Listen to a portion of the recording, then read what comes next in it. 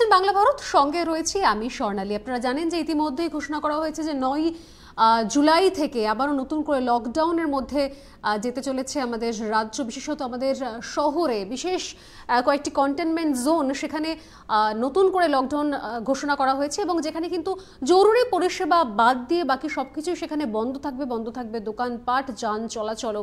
এবং মনে করা হচ্ছে যে বিগত কয়েক দিনে অন্তত আনলক ওয়ান বা আনলক টু এর পর যেভাবে করোনার সংক্রমণ বেড়েছে, সেই জায়গা থেকেই সেই সংক্রমণ আটকাবার জন্যই এই সিদ্ধান্ত।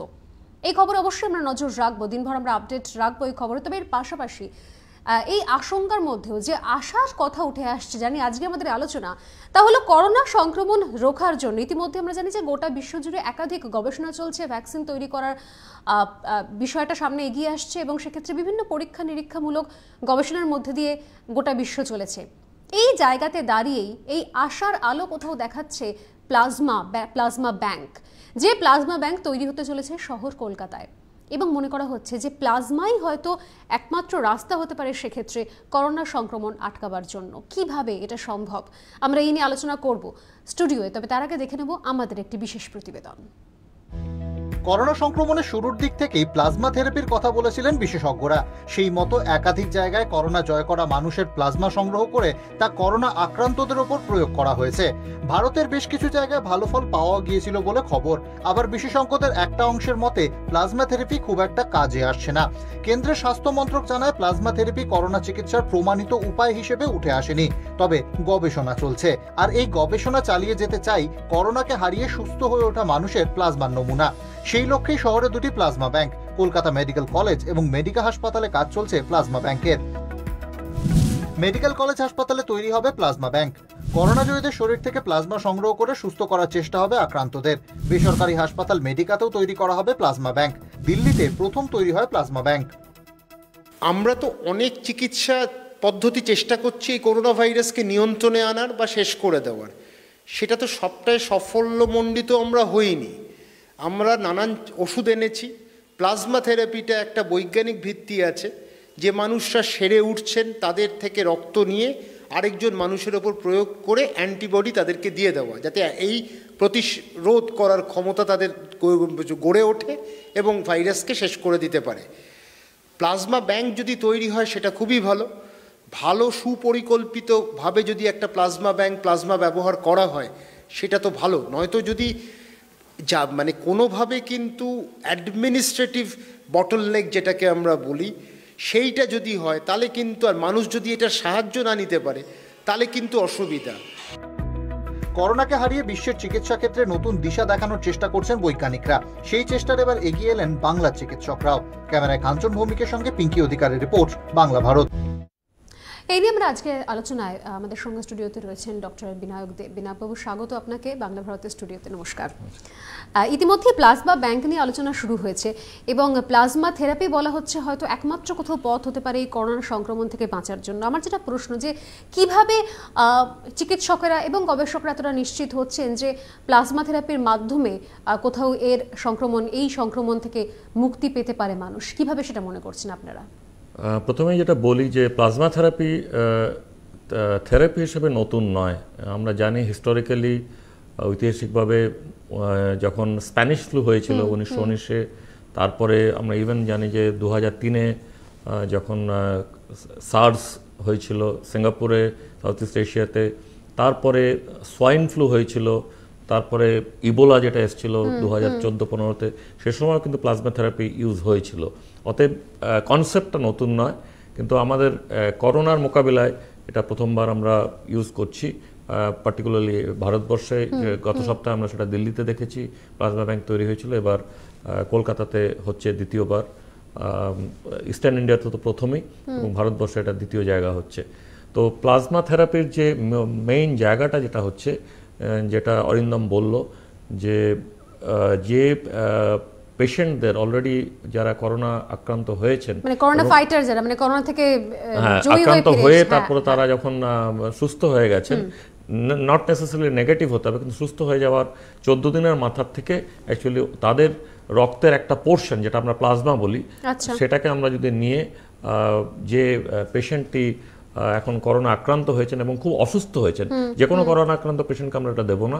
যারা আইসিইউতে ভর্তি আছেন খুব ক্রিটিক্যালি ইল আছেন এবং অন্য কোনো উপায় যেগুলোতে কাজ হচ্ছে না তখন এই প্লাজমা থেরাপিটা দেওয়া হচ্ছে। কারণ ওখান থেকে যে অ্যান্টিবডিটা আছে সেই অ্যান্টিবডিটা শরীরের মধ্যে আমরা দিয়ে দিচ্ছি যেটা যখন যে আক্রান্ত পেশেন্ট আছে তার ভেতরে যে অ্যান্টিজেনটা আছে দুজনের যে যুদ্ধটা হবে সেটাতে অ্যান্টিবডিটা জিতবে। তার মানে অ্যামাউন্ট অফ অ্যান্টিবডিটা কিন্তু অনেক বেশি দিতে হবে।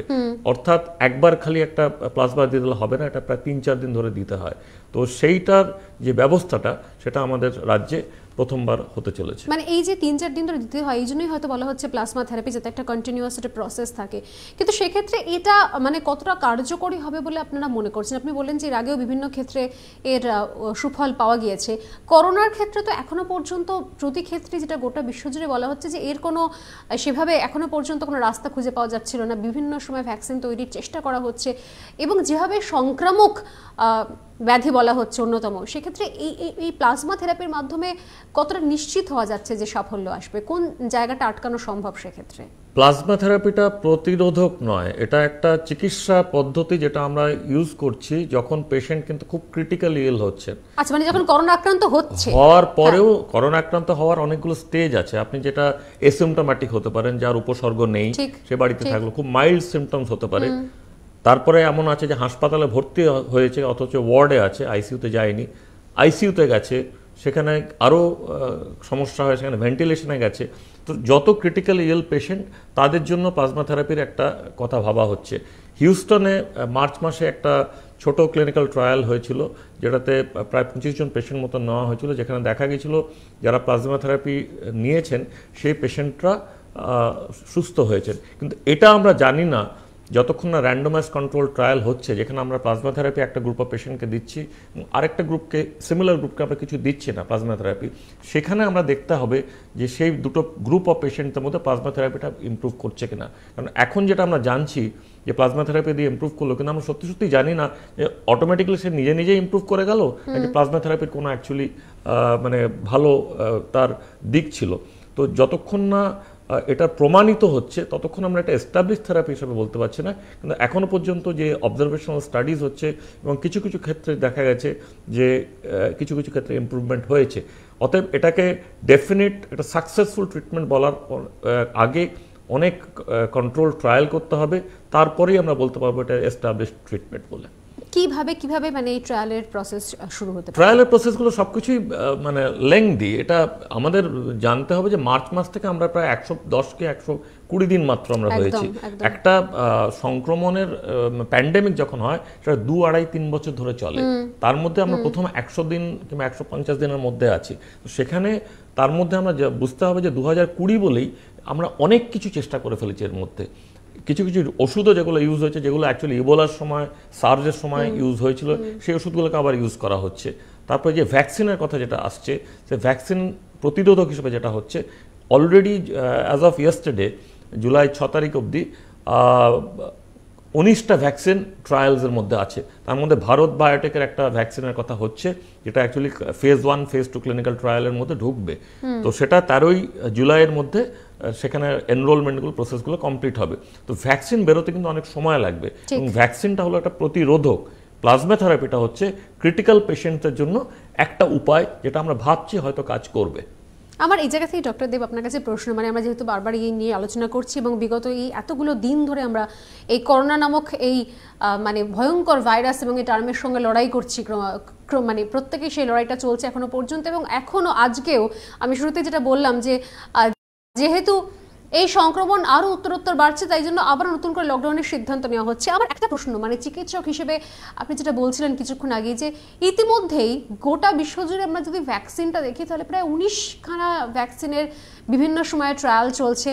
নতুন করে প্লাজমা থেরাপির কথা এখন বলা হচ্ছে এবং আপনারাও সেটা বলছেন যে এক্ষেত্রে হয়তো মানে প্রতিষেধক হিসেবে এটার একটা সলিউশন পাওয়া যেতেই পারে সলিউশন হিসেবে এটা উঠে আসতে পারে। করোনা আক্রান্তের মানে যে ক্ষেত্রে খুব ক্রিটিক্যাল স্টেজ হচ্ছে সেক্ষেত্রে। যেভাবে এই এই ভয়ঙ্কর মানে এই ভাইরাস আমাদেরকে বিভিন্ন রকমভাবে মানে নাজেহাল করেছে, ভাবাচ্ছে প্রতি মুহূর্তে এবং শুধু আমাদের দেশ নয়, গোটা বিশ্বকে, সেক্ষেত্রে কোথাও কি মনে হয় যে আরও হয়তো আরও অনেকটা দিন লাগবে এবং আরও অনেক রকম পরীক্ষা নিরীক্ষার পর তবেই হয়তো এর কোনো সদুত্তর বা এটাকে থামানো বা এর সঠিক ট্রিটমেন্ট সেটা খুঁজে বার করা সম্ভব হবে? এবং ততদিন পর্যন্ত তাহলে সেক্ষেত্রে এই করোনাটা আতঙ্কের রূপ হয়েই থাকবে আমাদের কাছে। কি চিকিৎসক হিসেবে কি বলবেন আপনি? এটা আমাদের অ্যাকচুয়ালি মেনে নিতে হবে। কারণ এখন যেটা আমরা বুঝতে পারছি যে এটার সংক্রমণ যেটা হচ্ছে করোনা কোভিড নাইন্টিনের এটা সংক্রমণ খুবই বেশি। আমাদের ধরে নিতে হবে যে এটা আরও বছর দেড়েক হয়তো থাকতে পারে। মানে এটা একটা আন্দাজে আমরা বলছি সবাই। কেউ কেউ বলছে হয়তো কম হতে পারে, বেশি হতে পারে, কিন্তু থাকবে এটা। এটা সবাই বলছে যে এটা থাকবে। তো এটার যে বৈজ্ঞানিক চিকিৎসা এবং তার প্রতিরোধ হিস্টোরিক্যালি যদি আমরা দেখি সেখানে আমরা জানি যে অনেকটা সময় লাগে। সব থেকে কাছের মধ্যে যেটা আমরা ভ্যাকসিন যেটা পেয়েছিলাম সেটা লেগেছিল ন বছর। তেত্রিশ বছর পঁয়ত্রিশ বছর থেকে শুরু করে ন বছর অবধি লেগেছিল। তার নিচে কোনো ভ্যাকসিন অ্যাকচুয়ালি সাকসেসফুলি ইমপ্লিমেন্টেড হয়নি। তো সেখানে যখন আমরা দেখছি ন বছর লাগছে এখানে আমরা বলছি যে ছ মাসের মধ্যে ভ্যাকসিন পাবো কি পাবো করে সম্ভব সেটা? অ্যাকচুয়ালি এটা হওয়ার সম্ভাবনা খুবই কম। হলে তো আমি সব থেকে বেশি খুশি হব। মানে কোথাও হয়তো আমরা এখন এই বাস্তবটাকে মেনে উঠতে পারছি না যে এই মুহূর্তে লড়াই আরও কঠিন এবং আরও সুদূর প্রসারী লড়াই।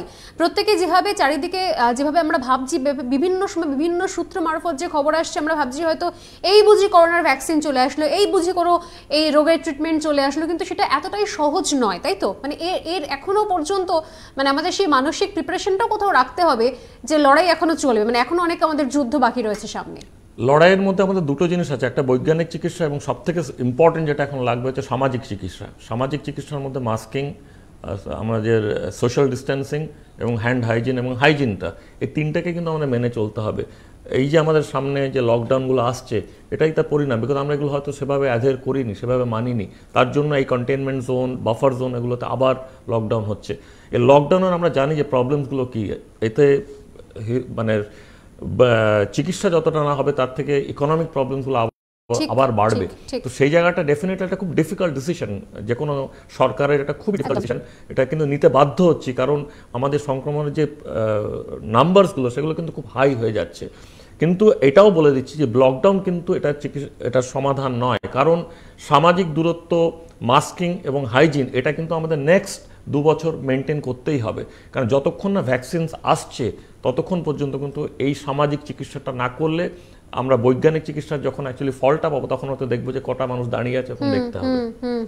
এবং এটাই বারবার করে বলা হচ্ছে এবং আরও একবার যেরকম ডক্টর দেব কথা বলতে বলতে বললেন যে লকডাউন যদিও লকডাউন বাড়ানো হচ্ছে কিন্তু লকডাউনটাই কিন্তু একমাত্র সমাধান নয়। এবং এইটা আমাদের যত দ্রুত আমরা মানতে পারব তত দ্রুত এই যুদ্ধের সঙ্গে লড়াই করার ক্ষমতা আমাদের তৈরি হবে। এবং বারবার করে সব জায়গা থেকে যেটা বলা হচ্ছে যে এই যে সামাজিক দূরত্ব মাস্কিং এবং স্যানিটাইজেশন এই বিষয়গুলোকে একদম সঙ্গী করতে না পারলে কিন্তু যখন যখনই এই আনলক প্রসেস শুরু হবে, তখন তখনই কিন্তু করোনা এরকম মহামারীর আকার ধারণ করবে এবং সংক্রমণ আরও বাড়বে। তারপর আবারও আমাদের সেই যেখান থেকে আমরা ভাবছিলাম যে যুদ্ধ করে একটু এগিয়ে এসেছি লকডাউন থেকে বেরিয়ে এসেছি, আমাদের আবারও সেই পুরনো আবর্তে ফিরে যেতে হবে এবং আবারও সেই লকডাউনের মধ্যে আটকে থাকতে হবে।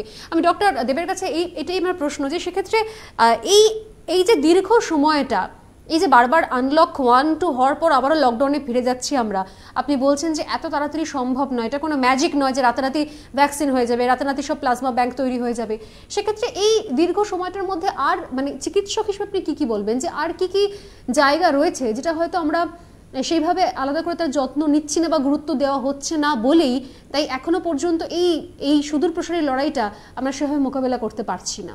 দেখুন, সরকার থেকে সেটা কেন্দ্রীয় সরকার হোক, আমাদের রাজ্য সরকার হোক, বারবার কিন্তু বিভিন্নভাবে আপনাদের মিডিয়া থ্রু দিয়ে এবং প্রিন্ট মিডিয়া থ্রু দিয়ে এবং বিভিন্ন ফোরামসের মধ্যে আমরা কিন্তু বারবারই বলছি যে এই সামাজিক চিকিৎসাটার ওপরে কিন্তু মানে গুরুত্ব দিতে হবে।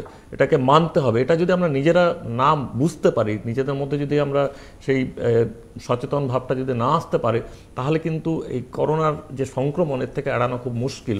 কারণ এটার যে ইনফেক্টিভিটি যে রেটটা এটা কিন্তু ভীষণ হাই সেটা বোঝা যাচ্ছে। মানে আজকে আপনি যে শুনছেন যে দুজনের হয়েছে পরের দিন শুনছেন যে কুড়ি জনের হয়ে গেছে একই জায়গায়। তার মানে একটা রেট ইজ ভেরি হাই সেখানে আমাদের যতক্ষণ না তার প্রপার চিকিৎসা হচ্ছে ততক্ষণ কিন্তু এই জিনিসগুলো মানতে হবে। সেকেন্ডলি আমাদের এই যে লকডাউনের সময়গুলোতে আমরা যেটা করছি ইউজুয়ালি আমাদের স্বাস্থ্য ক্ষেত্রে বেডসগুলোকে আমরা বাড়াচ্ছি। যে কোভিড হসপিটালস হচ্ছে কোভিড বেডস হচ্ছে তার যে সরঞ্জামগুলো লাগছে এই যে ইনফ্রাস্ট্রাকচারগুলো তৈরি করতে একটু সময় লাগে। সে সময় যদি মানুষরা ভেতরে থাকে তারপরে যখন ওরা বাইরে বেরোবে অ্যাটলিস্ট সেই মানুষদের চিকিৎসা যাতে আমরা করতে পারি। একদম তাই। এখনও কিন্তু আমাদের জানতে হবে যে ট্রেন এখনও শুরু হয়নি। ভারতবর্ষে যেখানে train is one of the main pillars of transport সেটা যখন শুরু হবে স্কুল কলেজ যখন শুরু হবে তখনই কিন্তু রিয়েল চ্যালেঞ্জটা আসবে। এবং সেই কারণেই হয়তো এখনও পর্যন্ত মানে এই বারবার করে এই লকডাউনের আবর্তের মধ্যে থাকা এবং কোনোভাবে যেটা বললেন ডক্টর দেব, ভীষণ প্রাসঙ্গিক যে সব থেকে বড় যাতায়াতের সব থেকে বড় মাধ্যম ট্রেনটাই এখনও চালু করা যায়নি। আমি আবারও ফিরে আসি প্লাজমার ক্ষেত্রে। সেক্ষেত্রে প্লাজমা ব্যাংক যেটা বলা হচ্ছে নিঃসন্দেহে আশঙ্কার মধ্যে আশার আলো তো রয়েছে। যে কারণে আমাদের এই আলোচনা আমরা শুরু করেছিলাম যে আশা এবং আশঙ্কার মধ্যে কীভাবে এখনও পর্যন্ত আমরা লড়াই করে যাব, সার্ভাইভ করব। প্লাজমা ব্যাংক নিঃসন্দেহে একটা আশা আলো দেখাচ্ছে। সেক্ষেত্রে আমাদের দেশের ক্ষেত্রে, শহরের ক্ষেত্রে, আমার যেটা প্রশ্ন, ডক্টর দেব, যে সব ক্ষেত্রে আমরা দেখি যে ইনফ্রাস্ট্রাকচার হোক বা এইসব দিকে অনেক, অনেকটা সময় চলে যায় কোথাও। কত দ্রুততার সঙ্গে এই প্লাজমা ব্যাংক তৈরি করা সম্ভব? চিকিৎসক হিসেবে আপনার কি মনে হয়? আমার মনে হয় মানে এখানে একটা সদিচ্ছা আছে। নাহলে আমরা এত তাড়াতাড়ি দিল্লির গত সপ্তাহ হওয়ার পর মানে এতগুলো তো শহর ছিল কলকাতা চাট করে নিয়ে নিল দুটো সেন্টার। একটা গভর্নমেন্টের থেকে নিয়েছে একটা মেডিকা নিয়েছে। তো সেখানে আমার মনে হয় যে একটা সদিচ্ছার ব্যাপার আছে।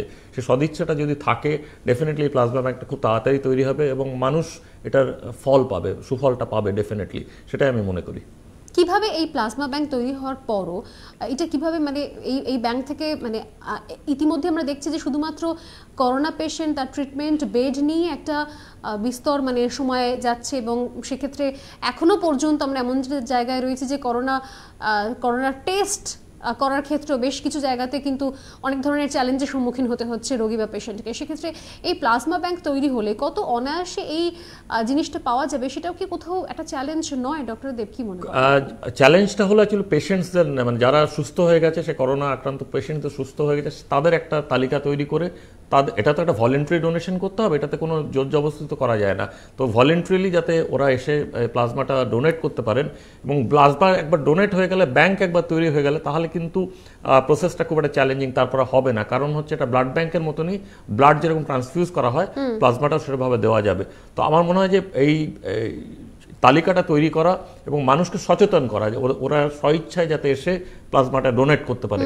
এই যে জিনিসটা নাগরিকদের মধ্যে যে সচেতনতাটা পাশের যে মা- আমি তো ভালো হয়ে গেলাম এবার পাশের মানুষটাকে ভালো করার জন্য যে সদিচ্ছাটা সেটা থাকলেই কিন্তু প্লাজমা ব্যাংকের গোড়াপত্তনটা খুব ইজিলি হবে। একটা সদিচ্ছা দরকার এবং একই সঙ্গে সাবধানতা, সচেতনতাও দরকার বারবার করে যেটা এই আলোচনায় উঠে আসছে। কিন্তু সেটা কীভাবে? মানে এখনও পর্যন্ত যে জায়গায় রয়েছে আমরা এখনও সামান্য জ্বর হলে বা করোনা পেশেন্ট মানে বাড়ি ফিরে আসলেও বা তার ফ্যামিলির লোকজন যেভাবে আতঙ্কিত হয়ে থাকছেন, আমরা জানি যে শহরের বাইরেও বিভিন্ন গ্রামাঞ্চলে বিভিন্ন জায়গাতে করোনা হয়েছে। এই সন্দেহে পর্যন্ত একঘরে করে দেওয়া হচ্ছে। সেই জায়গা থেকে এই সময় দাঁড়িয়ে এই এই জিনিসটা কীভাবে মানুষের মধ্যে তৈরি করা যাবে? এবং একই সঙ্গে বারবার যেটা বলা যে শুধুমাত্র লকডাউন করে তো সেটা সমস্যার সমাধান হবে না, কীভাবে বোঝানো সম্ভব?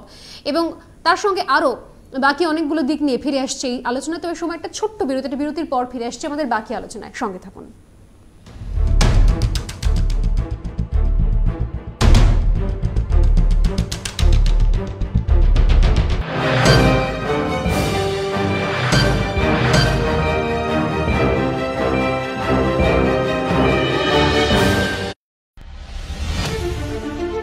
রাজধানী দিল্লি।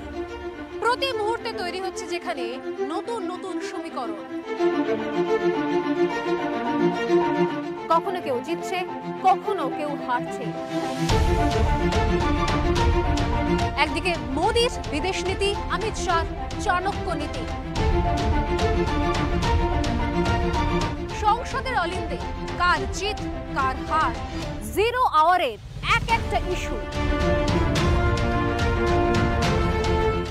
নজরে গোটা দেশ, নজরে অবশ্যই বাংলা।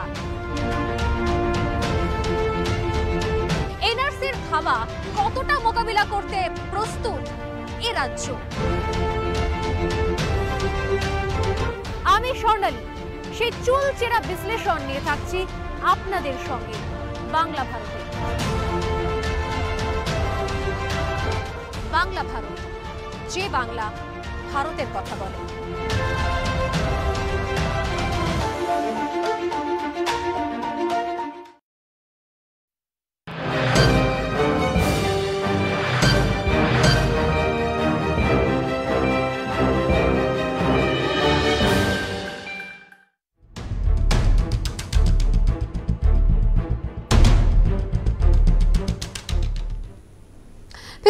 পর আমাদের আজকের আলোচনা আশা আশঙ্কা নিয়ে।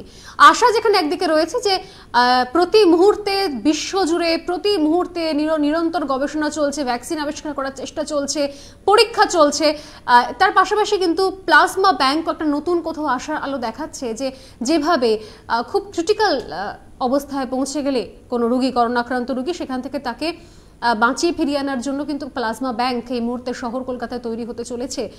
সেক্ষেত্রে নিঃসন্দেহটা আশার আলো। কিন্তু পাশাপাশি আশঙ্কার মেঘ তো রয়েছে।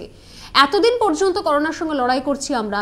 এখনও পর্যন্ত মানুষের মনে সেই সচেতনতা তৈরি হলো কোথায়? এখনও পর্যন্ত সেই সচেতনতা তৈরি হয়নি বলেই কোথাও হয়তো এই আনলক ধাপে ধাপে চলার মধ্যেও আবার আমাদের লকডাউনে ফিরে আসতে হচ্ছে। কেন এখনও পর্যন্ত মানসিকভাবে আমরা তৈরি হতে পারছি না? এটা একটা বড় প্রশ্ন। আজকে আলোচনা করছি স্টুডিওতে, আমাদের সঙ্গে রয়েছেন ডক্টর বিনায়ক দেব। আমি আবারও ডক্টর দেবের কাছে ফিরে যাব।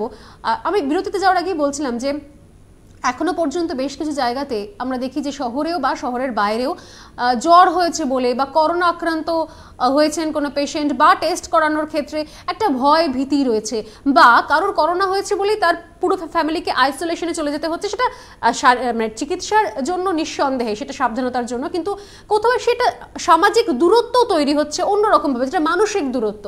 তো কোথাও কি আমাদের পক্ষে এখনও বুঝতে সমস্যা হচ্ছে যে কীভাবে এই সংক্রমণ হয়?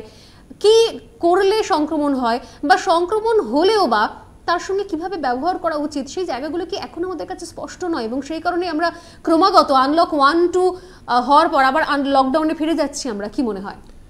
প্রথমে বলি যে মানে কিছু দুর্ভাগ্যজনক কিছু আমাদের পরিসংখ্যান আছে। কারণ আমরা জানি যে এই করোনা আক্রান্ত যারা তারা অ্যাকচুয়ালি শহর ভিত্তিক পরিসংখ্যান আমরা দেখি যে মেনলি তারা আরবান রুরালে কিন্তু অতটা নেই। আবার আরবানটাকে যদি আপনি ব্রেকআপ করেন আপনি দেখবেন যে স্লাম এরিয়াতে কিন্তু পরিসংখ্যান যদি দেখা যায়। অনেক কম। তার মানে যেটা হচ্ছে বহুতলগুলোতে বেশি হচ্ছে কিছু ফ্ল্যাটসগুলোতে বেশি হচ্ছে। তার মানে মিডল ক্লাস এবং আপার মিডল ক্লাস এবং যে এলিট ক্লাস যারা বলি আর কি এই মানুষগুলোর কিন্তু বেশি হচ্ছে। তার মানে কি আমাদের বলতে হবে যে এরা বুঝতে পারছেন না? এদের তো সবার কাছে তো স্মার্টফোন আছে এদের সবাই জানে যে কি করতে হবে কি না করতে হবে। এতগুলো ফেসবুক লাইভে ওরা প্রোগ্রাম দেখছেন বিধিনিষেধ যেগুলো সরকার দিচ্ছেন সেগুলো শুনছেন। সব শোনার পরেও এই যা এই জায়গাটা যখন যাচ্ছে তখন মনে হচ্ছে যেন যে ওরা বোধহয় এই জিনিসটা ফলো করছেন না। কারণ আমরা জানি যে স্লাম এরিয়াতে হয়তো একটা ঘরের মধ্যে দশজন করে থাকছেন কিংবা পাঁচজন করে থাকছেন ছজন করে থাকছেন কিন্তু ফ্ল্যাটের মধ্যে তো সেই প্রবলেমটা তো হচ্ছে না। যে যে ফ্ল্যাট থেকে আজকে পরিসংখ্যানও যদি দেখেন দিনের দেখবেন যে বড় বড় ম্যানশনগুলোতে বড় বড় জায়গাগুলোতে পনেরো কুড়িটা ফ্যামিলি একসঙ্গে পজিটিভ হচ্ছে। তার মানে কি ওরা এই লকডাউনের সময় যখন অ্যাকচুয়ালি বিধিনিষেধগুলো মানা দরকার ছিল ডেফিনেটলি ইয়ে হচ্ছে ওখানে ওরা মেলামেশা করছে এবং একজনের থেকে একজন ছড়াচ্ছে সেখানে মাস্কিং কতটা হচ্ছে স্যানিটাইজিং কতটা হচ্ছে সোশ্যাল ডিস্টেন্সিং কতটা হচ্ছে সেটা নিয়ে কিন্তু আমার অনেক এবং আছে। করে ডক্টর দেব এটা বলাও হচ্ছে যে লকডাউন যদি আমরা ঠিক করে মানতাম যদি সঠিকভাবে আমাদের বিধি নিষেধগুলো মানা হতো তাহলে হয়তো আজকে এই এই দিনটা আমাদের দেখতে হতো না। সেক্ষেত্রে কোথাও একটা হয়েছে হয়তো বেশি বড় বেশি উদাসীন বা কোনো কোনো ক্ষেত্রে মনে হচ্ছে বিষয়টাকে অতটা সিরিয়াসলি নেওয়ার দরকার নেই অতটা গুরুত্ব দেওয়ার দরকার নেই এবং এটা আপনি যেটা বললেন একদম ষোলো আনার ঠিক কথা যে আরবানদের মধ্যে হয়তো এই প্রবণতা বেশি যার মাসুল কিন্তু গুনতে হচ্ছে গোটা শহরকে। গোটা শহর কেন? গোটা গোটা গোটা দেশ গোটা একদমই কারণ আজকে মানে সব থেকে ক্ষতিগ্রস্ত কারা? যারা সব থেকে মানে মার্জিনালাইজড তাদের আজকে রুজি রোজগার চলে গেছে। একটা বড় চাকরিতে যে ছিল তো চাকরিটা হয়তো আছে হয়তো তার স্যালারি কাট কিছু হয়েছে। কিন্তু একটা মুদি দোকান একটা যে আলু বেচছে বসে মাছ বিক্রি করছে কিংবা রিক্সা চালাচ্ছে তার তো একদম রুজি রোজগার জিরো হয়ে গেছে। এবং তার কি প্রবলেম সংক্রমণটা তো কাউকে বেছে বেছে হচ্ছে না সবাই সংক্রমিত হচ্ছে। তো আমার মনে হয় যে এই যে লকডাউনের সময় যে আমরা যে বিধিনিষেধগুলো এগুলো কিন্তু খুব কড়াভাবে এবার মানতে হবে।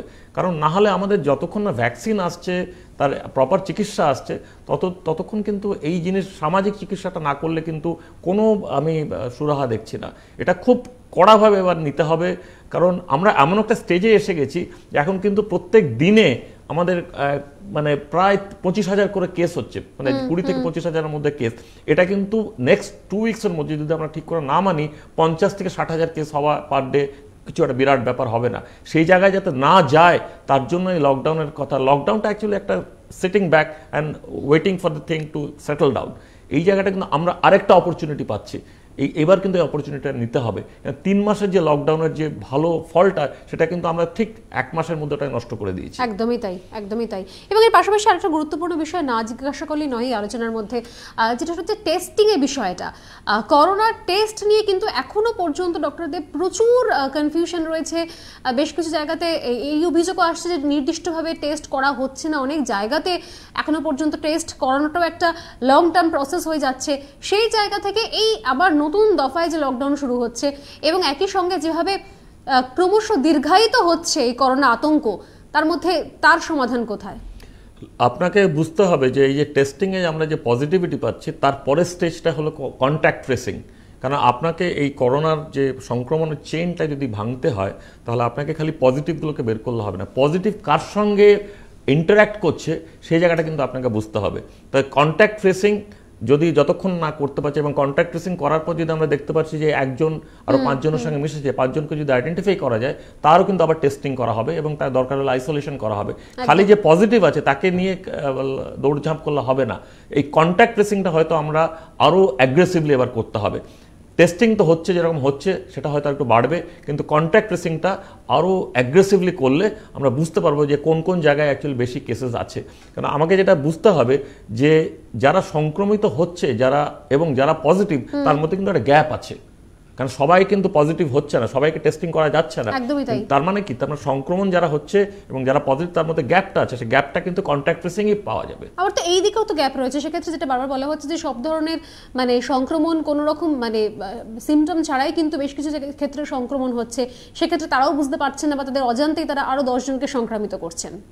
ডেফিনেটলি এই জায়গাটা তো বুঝতে হবে। কিন্তু আমাদের এটার মধ্যে ভালো দিকটা হলো যে আমাদের recovery rate is very high recovery রেটটা প্রায় সিক্সটি সেভেন্টি পার্সেন্ট মধ্যে sixty two sixty five percent এবং আমাদের রাজ্যের recovery rate is one of the highest তো সেই জায়গাটা দেখতে হবে যে রোগটা পজিটিভ হলেও সেটা কিন্তু ভালো হওয়ার সম্ভাবনাটা অনেক বেশি। মৃত্যুর সম্ভাবনাটা খুব কম। কিন্তু আমরা চাইব না যে যে মানুষগুলো অ্যাকচুয়ালি যেটা হয় যে একটা ইয়াং কেউ যদি সংক্রমিত হন তার কিছু হবে না। সে যখন বাড়িতে ঢুকবে তার বাড়িতে যে ছোট্ট বাচ্চাটা আছে এবং বয়স্ক যে বাবা মা আছেন তাদের কিন্তু সংক্রমণ হলে প্রবলেমটা হবে। তো আমি ভালো থাকলে হবে না। আমাকে সবাইকে নিয়ে নিয়ে ভালো থাকতে হবে। এই মেসেজটা কিন্তু আমাদের সবাইকে দিতে হবে। একদমই তাই। আমাদের আলোচনা প্রায় শেষের দিকে। ইতিমধ্যেই করোনার আবহের মধ্যে বিভিন্ন সময় বিভিন্ন বিষয় সামনে চলে আসে, বিভিন্ন তথ্য যেটা রীতিমতো আতঙ্কের কারণ তৈরি করে। যেরকম বিগত দু তিন দিন ধরেই যে সামনে আসছে যে বিষয়টা আজকে আলোচনাতে না আনলেই নয়, তা হলো বাতাসে নাকি করোনা ছড়াচ্ছে, যে, যেটা শুরু থেকেই বলা হচ্ছিল যে ড্রপলেট থেকে করোনা মূলত সংক্রামিত হয়, স্পর্শ থেকে ড্রপলেট থেকে। সেই জায়গায় দাঁড়িয়ে বাতাসের নতুন তথ্য সামনে আসছে। আদৌ কি এর কোনো ভিত্তি রয়েছে ডক্টর দেব? দেখুন মানে মানে আমরা তো অযথা আতঙ্কিত হব বলেই আতঙ্কিত হব না। তার তো একটা কোনো ভিত্তি কোনো পরিসংখ্যান থাকতে হবে একটা দুটো জিনিস আছে। একটা হচ্ছে আমাদের তো সংক্রমণের প্যান্ডেমিক একটা আমরা জানি। সেকেন্ডলি একটা হচ্ছে ইনফোডেমিক ইনফোডেমিক হলো ইনফরমেশনের একটা প্যান্ডেমিক সেটা একটা বিরাট প্রবলেম চায়ের দোকানের থেকে শুরু করে মানে সাইন্টিফিক সেমিনার অবধি মানে আমরা করোনা নিয়ে কিন্তু সবাই এক্সপার্টস হয়ে গেছি। একদম তো আজকে দুশো পঁয়ত্রিশ জন এক্সপার্টসরা নাকি বলেছেন যে হাওয়াতেও নাকি করোনা ছড়ায়। সেটা ডাব্লিউএইচও আইসিএমআর বলুক। কারণ আমাদের যে ডিরেক্টিভসগুলো আমরা কিন্তু এই দুটো সংস্থার থেকেই নেব। এরা যা এটা যেটা এরা যেটা বলবে সেটাকে আমরা শুনব। না হলে তো এই যে হোয়াটসঅ্যাপ আর সোশ্যাল মিডিয়াতে যদি আমরা আজকে তাদের ভিত্তিতে আমাদের যদি করোনার চিকিৎসা করতে হয় তাহলে কিন্তু কোনো চিকিৎসাই হবে না। একদমই তাই। সেই জায়গা থেকে বারবারই যেটা বক্তব্য এবং আজকে ডক্টর দেব আমাদের সঙ্গে রয়েছেন, বিনায়ক দেব, এবং তারও বক্তব্য যেটা যে অহেতুক কিন্তু আতঙ্কি, আতঙ্ক ছড়াবেন না, আতঙ্কিত হবেনও না, আতঙ্ক ছড়াবেনও না, এবং নির্দিষ্ট যেখান থেকে তথ্য নেওয়ার, সেখান থেকে তথ্য নিয়ে, কারণ এই করোনা আবহের মধ্যে, এই লকডাউনের মধ্যে আমরা দেখেছি বিভিন্ন সময় বিভিন্ন মাধ্যমে একাধিক তথ্য আসছে। সোশ্যাল মিডিয়া ভীষণ রকম সক্রিয়, সেক্ষেত্রে তার উপর নির্ভর করে হোয়াটসঅ্যাপের উপর নির্ভর করে কিন্তু দয়া করে আতঙ্কিত হবেন না। সামনের দিনগুলো আরও কঠিন, সেই দিনগুলোকে খুব খুব কঠিন লড়াইয়ের মধ্যে দিয়ে এগোতে হবে। যে ভুলগুলো আগের লকডাউনে হয়েছে, আশা করব সেই ভুলগুলো কখনোই হবে না এবং তার পাশাপাশি রাস্তা, নতুন রাস্তা তো দেখা, দেখানো হচ্ছে। ইতিমধ্যেই ভ্যাকসিন পরীক্ষা চলছে, গোটা বিশ্বজুড়ে ইতিমধ্যে শহর কলকাতায় প্লাজমা ব্যাংক তৈরি হচ্ছে যাতে গুরুতর মুমূর্ষ রোগীকে সেখানে চিকিৎসা করানো সম্ভব হয়। তাই অহেতুক আতঙ্কিত হয়ে আরও নিজের জীবন এবং একই সঙ্গে নিজের পরিবারের জীবনকে আরও বেশি জটিল করে তুলবেন না। এটাই আমাদের একমাত্র অনুরোধ আপনাদের কাছে। ডক্টর দেব আপনার যদি কিছু বলার থাকে দর্শকদের জন্য। হ্যাঁ, আমার বলার যেটা যেটা আপনি বললেন যে আতঙ্কর ব্যাপারটা আমি বলছি সোশ্যাল মিডিয়াতে গান শুনুন কবিতা শুনুন এনজয় করুন। ইনফোডেমিকের মধ্যে ঢুকবেন না। যদি জানতে হয় করোনা সম্বন্ধে ডাব্লিউএইচওর গাইডলাইন্সগুলো দেখুন আমাদের আইসিএমআর গাইডলাইন নির্দেশিকাগুলো পড়ুন। সরকার প্রত্যেক দিন আমাদের নির্দেশিকা দিচ্ছে আপডেট করছেন সেগুলোর ওপর চোখ রাখুন।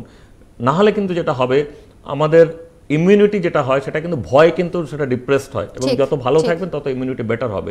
তো গান শুনে কবিতা শুনে নাটক দেখে আমার মনে হয় আপনারা ইমিউনিটি বাড়ান। আর আতঙ্ক যেটা সেটাকে অ্যাবসলুটলি নিচে নামিয়ে আনুন। বিকজ সরকার এবং ডাব্লিউএইচও এরা কিন্তু দেখছে ব্যাপারটা। খুব সিরিয়াসলি দেখছে। আমার এই জায়গা থেকে লাস্ট একটা বিষয় একটু জানার রয়েছে যে মানে নিঃসন্দেহে আমরা কোন গাইডলাইন ফলো করব বা ফলো করব না, এটা তো- এটা তো একটা বিষয় রয়েছে। একই সঙ্গে মানুষজন যারা পথে নামছেন, যারা রাস্তায় বেরোচ্ছেন, যারা কাজ করছেন, তাদের ক্ষেত্রে যদি আরও একবার করে বলে দেন যে, এই সময় দাঁড়িয়ে বিভিন্ন এই বাতাসের ভাইরাস থেকে শুরু করে নানা বিষয় তারা মাথায় নিয়ে বেরোচ্ছেন, প্রতি মুহূর্তে শুনছেন শেয়ার করছেন, আলোচনা করছেন। সেই জায়গা থেকে দাঁড়িয়ে এই সামনের ন তারিখ থেকে যে নতুন করে লকডাউনের মধ্যে যাচ্ছি আমরা কন্টেনমেন্ট জোনে বিভিন্ন রকমের বিধিনিষেধ যেগুলো একদম আগে থেকেই ছিল, সেগুলো আবার নতুন করে সেখানে লাগু করা হচ্ছে। জরুরি পরিষেবা ছাড়া আর কোনো পরিষেবা সেখানে থাকছে না। এর মধ্যে যারা বেরোচ্ছেন, যাদের বেরোতেই হবে, জরুরি পরিষেবার সঙ্গে যারা যুক্ত, তাদের জন্য কি কি suggestion doctor Dev triple layer mask মানে আমি কটন মাস্কের কথা বলব যেটা রিইউজেবল হবে। তার উপরে যদি একটা সেকেন্ড মাস্ক লাগানো যায় ভালো। ডিস্টেন্সিংটা যতটা সম্ভব মেনটেন করুন। আর থার্ডলি যেটা হচ্ছে হাইজিন হাইজিনের মধ্যে আপনার হাত ধোয়া যদি অফিসে যান কিংবা বাড়িতে থাকেন, সাবান দিয়ে কুড়ি সেকেন্ড অ্যাটলিস্ট হাতটা ধোবেন। আর যখন বাইরে থাকছেন অ্যালকোহল স্যানিটাইজার এটা ইউজ করবেন। চোখে মুখে হাত দেবেন না এবং যখন বাড়ি ফিরবেন ডেফিনেটলি আমরা আগেও বলেছি যে টোটালি নিজে স্যানিটাইজড হয়ে যেগুলো মোবাইল ফোন এগুলো সব স্যানিটাইজ করে তারপর বাড়ির লোকজনের সঙ্গে মেলামেশা করবেন। অনেক ধন্যবাদ, ডক্টর দেব। আমাদের সঙ্গে ছিলেন স্টুডিও আলোচনায় ডক্টর বিনায়ক দেব। আজকে আলোচনা শেষ করছি এখানে তবে অবশ্যই নিজেরা সাবধান থাকুন, সতর্ক থাকুন, সচেতন হন এবং লকডাউন সংক্রান্ত প্রতি মুহূর্তের খবর, ঠিক কী কী আপডেট আসছে আমাদের কাছে, আমরা বাংলা ভারত তুলে ধরার চেষ্টা করব আপনাদের কাছে। খবরে থাকুন, দেখতে থাকুন বাংলা ভারত।